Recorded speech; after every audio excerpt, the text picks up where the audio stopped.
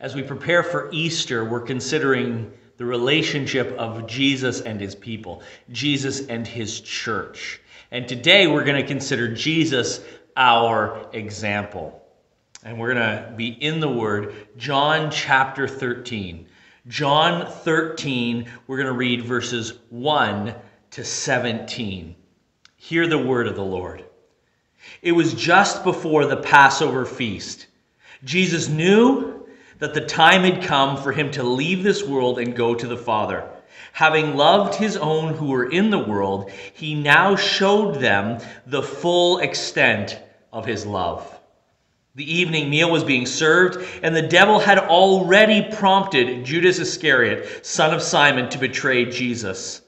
Jesus knew that the Father had put all things under his power, and that he had come from God and was returning to God. So he got up from the meal, took off his outer clothing, and wrapped a towel around his waist. After that, he poured water into a basin and began to wash his disciples' feet, drying them with the towel that was wrapped around him. He came to Simon Peter, who said to him, Lord, are you going to wash my feet? Jesus replied, You do not realize now what I'm doing, but later you will understand. No, said Peter, you shall never wash my feet. Jesus answered, Unless I wash you, you have no part with me. Then, Lord, Simon Peter replied, Not just my feet, but my hands and my head as well. Jesus answered, A person who has had a bath needs only to wash his feet. His whole body is clean, and you are clean, though not every one of you are clean. For he knew who was going to betray him. And that is why he said, Not every one of them was clean. When he had finished washing their feet, he put on his clothes and he returned to his place. Do you understand what I have done for you? He asked them. You call me teacher and Lord and rightly so, for that is what I am. Now that I, your Lord and your teacher, have washed your feet, you also should wash one another's feet. I have set you this example that you should do as I have done for you. I tell you the truth no servant is greater than his master, nor is a messenger greater than he who sent him. Now that you know these things, you will be blessed if you do them. This is the word of the Lord. We thank God for his word. I want us to consider three points from this passage, but before we get to those points, we need to deal with something that's a little bit foreign to us as 21st century North American readers of Scripture. This cultural reality that's being expressed here, this uh, historical context, the need for foot washing, the practice of washing a guest's feet. That is something that is very far removed from our experience. How would you feel if you were invited out to dinner at a friend's house and as you enter the door, they asked you to take your shoes off at the door? And not only did you take your shoes off, but they then told you that they were going to wash your feet before the meal. Most of us would be intensely uncomfortable. And yet, this is what we see going on in the passage here. How do we understand this practice of foot washing? And how does it help us understand God's message, God's truth for us in the passage itself? Well, let's begin by noticing in verse 1 that the whole of this text takes place in the shadow of Good Friday and Resurrection Sunday. This is an Easter passage. It says in verse 13, or verse 1 of chapter 13, it was just before the Passover feast, and Jesus knew that the time had come for him to leave this world and go to the Father. Having loved his own who were with him in the world, he now showed them the full extent of his love. Whether your translation says the fullness of his love, the full extent of it, how big God's love for us is in Jesus, or whether it's talking about duration. Maybe it says he loved them to the end or to the uttermost. Either way, what we're talking about here when we come to the foot washing of Jesus, washing the disciples' feet, we're talking about God's love for us in Christ, the fullness of it. So, this passage, this practice of foot washing, it is an expression of God's love for us in Jesus.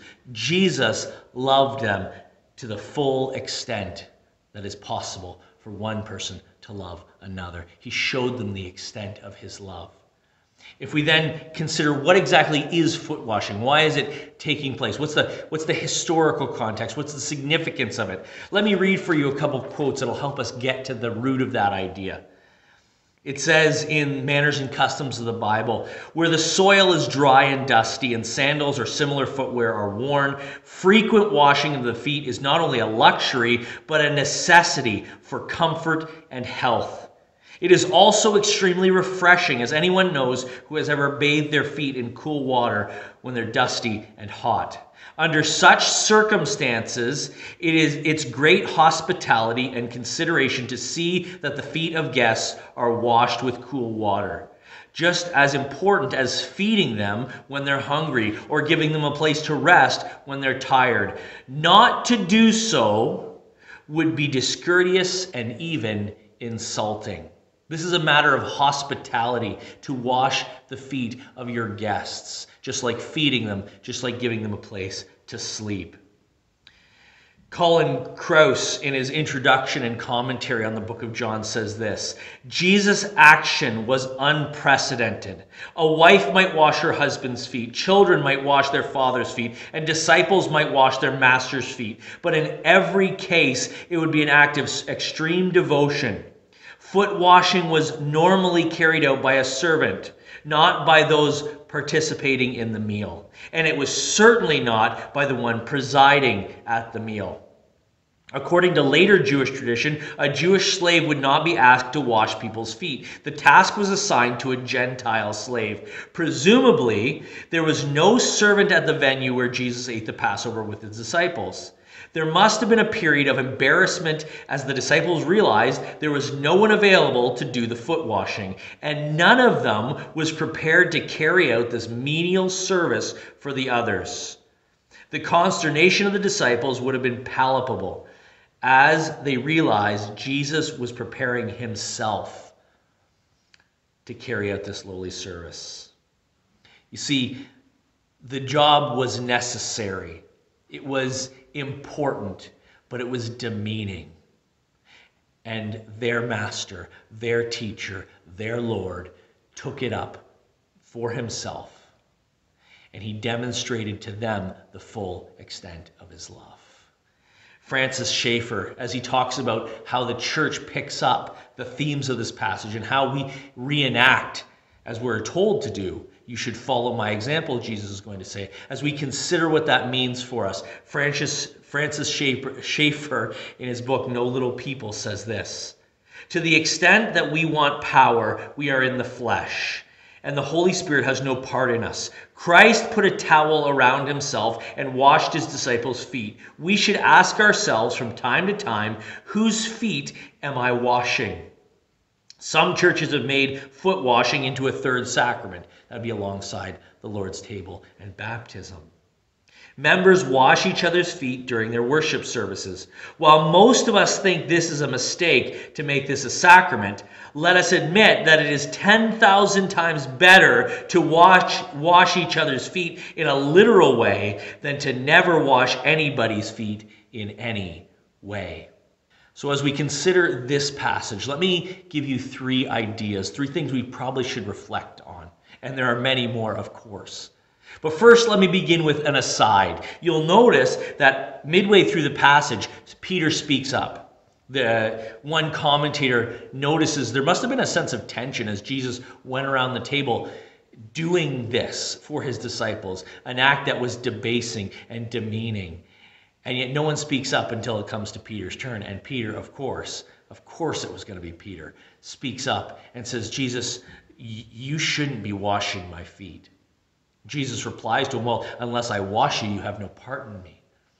Peter says, Well, in that case, wash me all. Wash all of me. My hands, my head. Wash me, Jesus. If, if this is what it takes to become uh, part of what you're doing, if this is what it means to belong to you, then wash me. Jesus says to him, a person who has had a bath needs only to wash his feet. His whole body is clean, and you are clean, though not every one of you. Remember, we said it's going to point back to the fact that Judas is not one of those who have actually put their trust in Jesus. And Jesus knows this, and yet he does not deny him the act of love.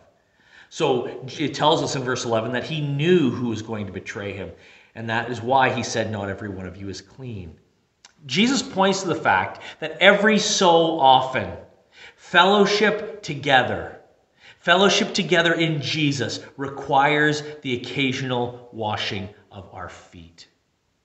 And that's actually an aside. If we read the passage, we see that this is this is a by the way statement because what Jesus is doing is he's providing an example of what it means to love one another well. And he's going to command us and offer blessing to us if we follow his example. That's the main idea of this passage. But there is an opportunity Jesus has because of Peter's words and statement to demonstrate something by the way. And this is the by the way statement.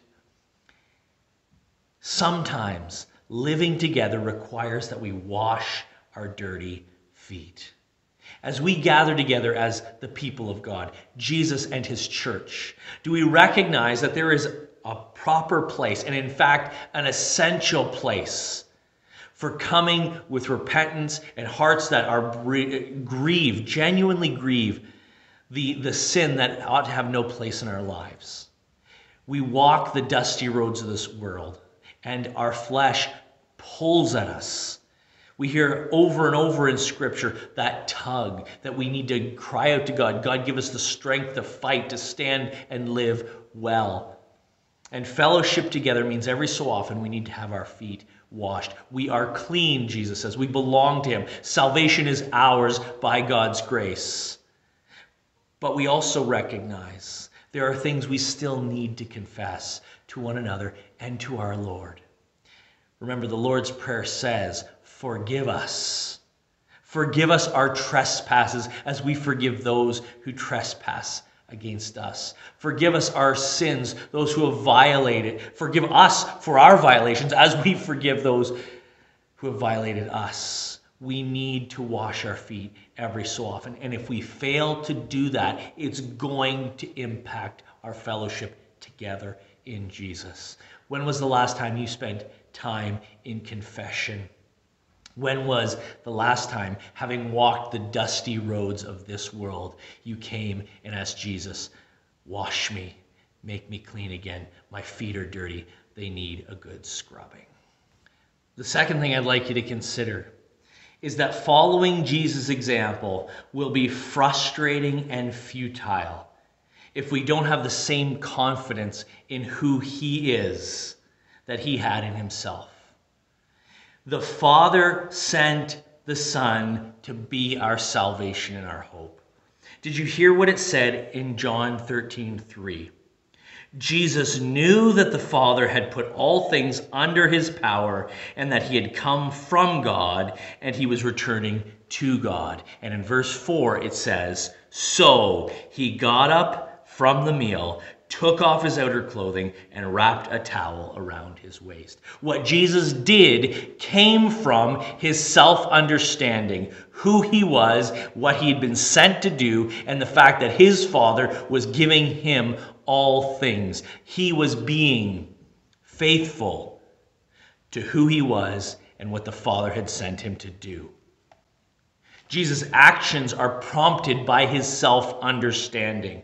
And if we don't begin from that same point, if we don't begin our attempts to follow Jesus, our desire to follow his example, if we don't begin those things with who he is, we are going to be frustrated and we are going to feel an overwhelming sense of futility because we will be trying to accomplish for ourselves what Jesus has already won by his power and grace.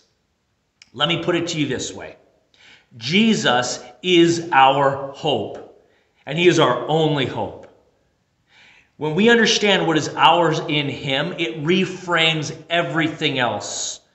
Because of who Jesus is and because of what he has done, there is an inheritance waiting for me in heaven, Peter tells me, that will never perish, spoil, or fade. All the riches of heaven are mine because of who Jesus is and because of what he has done. And they are waiting for me. At just the right time, they'll be mine forever.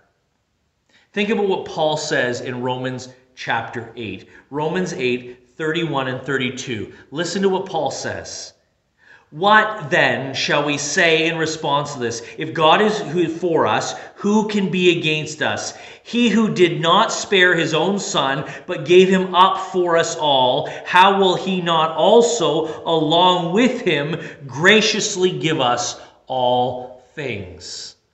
Paul says, when you know who God is, and when you realize what he has done for us in Jesus, it reframes our perspective on the world. If you go out and try and live the self giving love that Jesus lived daily, but you do it without the strength that Jesus gives, if you go out and you try and give everything you have, so that you can imitate Jesus. But you don't have the hope that comes knowing that you're secure in Him, that you belong to Him, that there's an inheritance waiting for you in Him. It will destroy you and consume you because you can never do and earn for yourself what Jesus has already done and earned on your behalf. It is by grace you are saved, Paul says in Ephesians. It's not of works. It's not something you can earn. And absolutely, Jesus says, if you want to be my disciple, you need to take up your cross daily and follow me. But it is a following him. It is walking the path he has already walked perfectly, completely. The author and perfecter, the finisher of our salvation. We follow him, not forging a new path, not making a way for ourselves. We follow him, recognizing his love has set us free. And because of who Jesus was, because he came from the Father to save us, and because he has returned to the Father to make a place for us, we now have freedom to give and give and give, remembering that God is going to graciously, with the Son, give us all things. And lastly, one of the great things about this passage of Scripture is Jesus himself says this is what all of these things mean. This is what I've been doing. This is what I've been trying to demonstrate for you. This is the take home for the lesson today, kids. Jesus says in verses 12 to 17, when he had finished washing their feet, he put his clothes on and returned to his place. Do you understand what I have done for you? He asked them. You call me teacher and Lord, and rightly so, for that is what I am. Now that I, your Lord and your teacher, have washed your feet, you also should wash one another's feet. I have set you an example that you should do as I have done for you. I tell you the truth no servant is greater than his master, nor is a messenger greater than the one who sent him. Now that you know these things, you will be blessed if you do them. This is the punchline. This is the point everything was tending towards. Jesus, who is our hope, Jesus, who is the one who's come to be crowned King of Kings and Lord of Lords, our teacher, our Lord, he has done this to set an example for us. And we are blessed as we follow that example it's important to recognize that this is a theme that Jesus is really going to emphasize in the coming chapters. Remember, this whole passage takes place in the shadow of Good Friday and Resurrection Sunday. And just a little bit further down in the passage, in the midst of the section that deals with Peter's denial, Jesus says, A new command I give to you love one another as I have loved you, so you must love one another. By this, all men will know that you are my disciples if you love one another. Again, Jesus sets the pattern and he calls his disciples to follow in that pattern. Reading from verse chapter 15, Jesus again reiterates this idea of loving well, laying down your life for those you love. Jesus says in chapter 15, verses 9 to 17. As the Father has loved me, so I have loved you. Now remain in my love. If you obey my commands, you will remain in my love, just as I have obeyed my Father's commands and remain in his love. I have told you this so that my joy may be in you and that your joy may be complete. Again, rooted in who Jesus is and what he's done. He continues, My command is this love each other as I have loved you. Greater love has no one than this, that he lay down his life for his friends. You are my friends if you do what I command. I no longer call you servants because a servant doesn't know his master's business. Instead, I have called you friends, for everything that I learned from my Father I have made known to you. You did not choose me, but I chose you and appointed you to go and bear fruit, fruit that will last. Then my Father will give you whatever you ask in my name. This is my command love each other. There is a famous Hippocratic oath that doctors take do no harm. Jesus calls us to be and do more than just no harm. He calls us to love thoroughly, love completely, love to the uttermost. The example he set has become our pattern for living. It means taking off your garments, setting aside the rights you may have, what you are entitled to, setting them aside, and washing the feet of those who are around you. Loving well, laying down your life. We can do that with confidence because we know who Jesus is and we follow his example.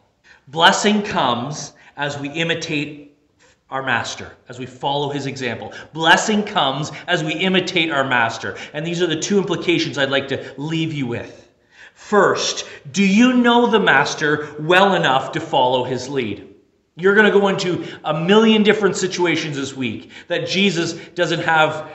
Uh, we don't have a precedent in the gospel for those things. Jesus didn't enter into those situations. He didn't log on to the network. He didn't have to go to the corner store. He didn't have to engage in some of the recreational activities. All of these things, Jesus has set a pattern for us, yes, in the Gospels. The question is because you don't have step by step instructions to live your life in the, the concrete realities of the day to day, because the specific situations you have, because those specific concerns, those specific interactions weren't specified for you. Do you know Jesus well enough to know how he would behave, to know how his love would look in the here and now? Do you know him well enough to follow his lead? And I think this is one of the reasons why we need to recognize that the New Testament calls us repeatedly to live in the power of the Spirit. Because as we're going to hear in the passages leading up to the crucifixion, as we read between John 13 and the end of the book, Jesus is sending his Spirit to teach us, to show us his truth in the day by day things of this world. Make it your aim every single day to know Him better, a little better, a little better, each day more of Him at work in you. Do you know Jesus well enough to follow His lead? Are you walking in step with the Spirit, keeping in step with the Spirit, Paul says in Galatians, so that you can see the example of Jesus played out in your life today? The other implication I'd like to point out is that if you are not imitating Jesus, the question I would have for you is to what teacher and Lord do you belong? To what teacher and Lord do you really belong if it is not Jesus' example you are imitating? God is calling us to live the next world's reality, live eternal truths here and now in this world. And it's going to be a real struggle, and we understand that. But if the day by day practice, the day by day habits of your life are not following Jesus' example, the most ready answer to the reason for that Is there is some other master, some other teacher, some other Lord to whom you really belong? This is a diagnostic question. Who is your master? You will follow their example. Jesus is our hope, and we should follow him. There is tremendous blessing waiting for those who love Jesus.